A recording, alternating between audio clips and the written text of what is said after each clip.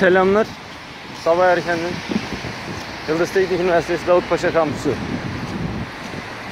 Görüyorsunuz insanlar derslerine gidiyor. Büyük bir heyecanla, büyük bir merakla ilim talep etmeye gidiyorlar. Ellerinden geleni yapıyorlar. Okullarını çok seviyorlar diye düşünüyoruz.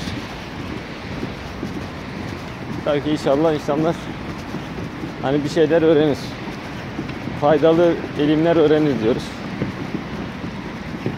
Çünkü bazı eksikler var benim gördüğümde. Düzelt, düzeltilmesi gereken birçok nokta var. Bunlar neler? Şimdi eğitim sistemimiz maalesef çok fazla ezbere dayalı. Hangi bölüm olursa olsun fark etmiyor.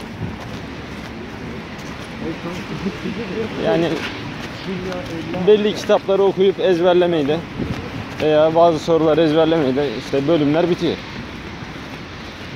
Gidiyorlar kırtasiyeden soruları alıyorlar. Rize sorularını. Çözüyorlar, geçiyorlar dersi. Bu kadar basit. Peki bu mu? Gerçekten bizim amacımız bu mu?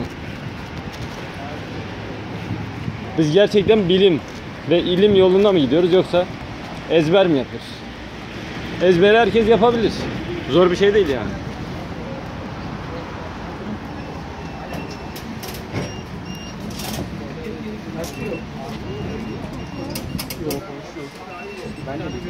Aynı sen mi bahsediyorsun?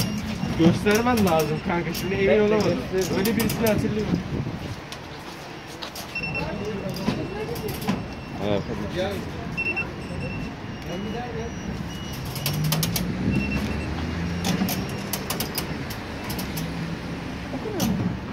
Atakan. Şunu yaptın mı? Yap. Ha? Yap. Ne yok mu? Yapalım.